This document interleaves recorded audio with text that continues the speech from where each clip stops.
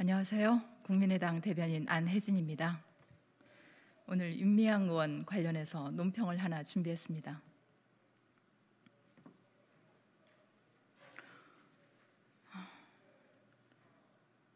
윤미향 의원은 국민 화병 그만 돋우시고 자진 사퇴하십시오. 더불어민주당 윤미향 의원이 어제 정의연 이사장 활동 당시 저지른 기부금품법 위반, 횡령, 업무상 배임 등 6개 혐의로 검찰에 기소되자 검찰이 더 쉬운 혐의를 소명한다면서 민주당 내 당직을 내려놓고 자신의 결백을 증명하겠다며 SNS를 통해 연일 감성을 팔고 있습니다. 윤 의원은 중증 치매를 앓고 있었던 기록원, 기록원 할머니 관련 영상 수건을 연달아 올리고요. 할머니의 평화 인권 운동가로서의 당당한 삶이 검찰에 의해 부정당했다는 엉뚱한 이야기를 늘어놓았습니다.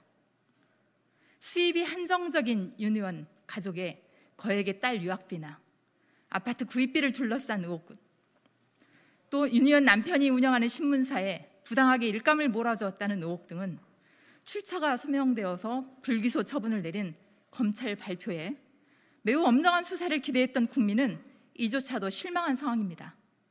그럼에도 일부 기소된 혐의마저 부정하고 또다시 유구하신 할머니까지 들먹이면서 감성 파리에 나선 윤 의원은 수치심을 알지 못하는 DNA를 가진 그런 파렴치한 사람이 분명해 보입니다. 언제까지 이렇게 위안부 할머니를 여론에까지 이용하는 행태를 국민은 지켜봐야 합니까?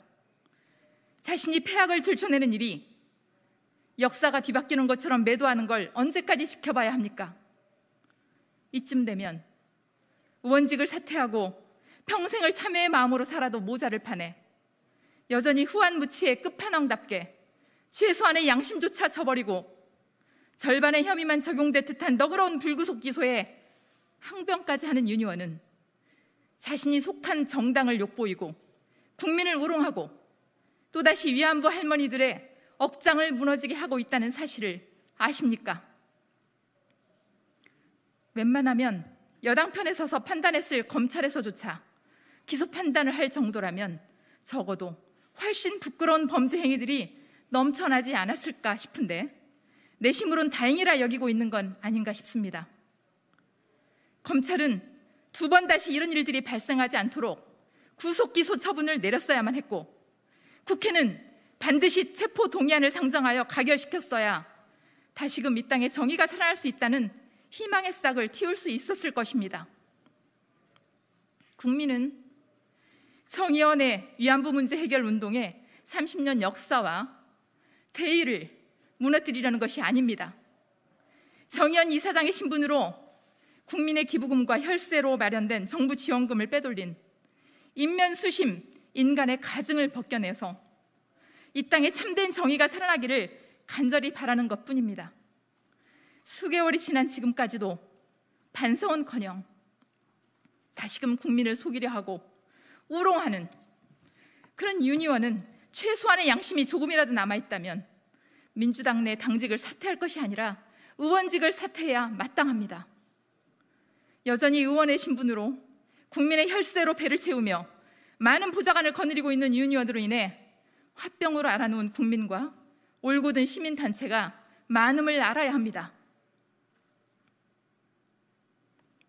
부정 입학, 특혜로 인한 군 미복비 등 전 현직 법무부 장관들의 불공정 행위, 정의원을 가장하여 정의를 축소해버린 윤미향, 안희정, 오거돈, 박원순에 이어진 성추행 사건 등 지금 나라는 가관이 아닙니다. 수차례 다양한 명목으로 보조금이나 지원금을 내려준 여성가족부의 입장도 궁금하기 짝이 없습니다. 과거 적폐가 무색할 정도의 파급력을 보여주고 있는 신적폐의 양상으로 썩은 악취가 국민의 심장을 갉아먹고 이 땅의 정의는 기대할 수 없게 된 책임은 비단 유니언 책임만이 아닌 내 편이라는 이유로 품에 감싸고 있는 집권 여당의 태도와 정부에 있습니다. 공정과 정의가 실현될 거라고 믿으며 민주당을 지지했던 많은 국민들조차 참으로 뻔뻔하고 역겹기까지 한 윤미향 정의연 사태만큼은 묵과하지 않을 것입니다. 인권 운동이나 사회 운동을 하는 대부분의 사람들은 기꺼이 청렴을 당당히 여기고 삽니다. 정부 보조금이나 기부금을 도둑질하여 자신의 배를 채우려거나 권력을 탐하는 사람들이 아니라는 것입니다. 윤 의원이 평화 인권 운동가로서의 당당하고 멋진 삶을 꿈꿨던 사람이라면 의원직을 욕심내어서도 안 되었습니다. 마음으로 전한 국민 기부금, 혈세로 지원한 정부 보조금 등을 자신의 개인 계좌로 끌어들인 순간부터 잘못되었습니다. 단돈 1원이라도 개인이 사용하였다면 분명 부끄러운 범죄 행위인 것입니다.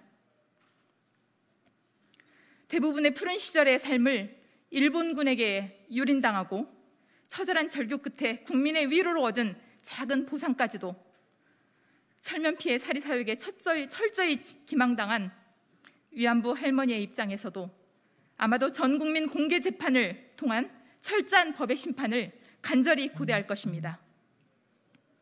민주당 내 당직을 다 사퇴하면서 자신의 범죄 행위에 대한 투쟁을 해야 할 사람이 세금 축내면서 국회에 있다는 것을 어느 국민도 납득하지 못할 것입니다. 현 정권의 비호 아래 국회의원 배지 달고 6개월이나 넘는 시간까지도 벌어준 그 점을 다행이라 여기고 이제 그만 감성팔이나 물타기로 국민 합병 돋우지 마시고 스스로 사퇴하기를 바랍니다.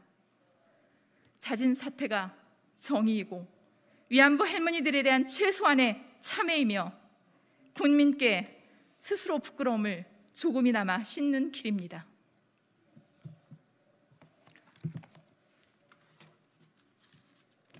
감사합니다.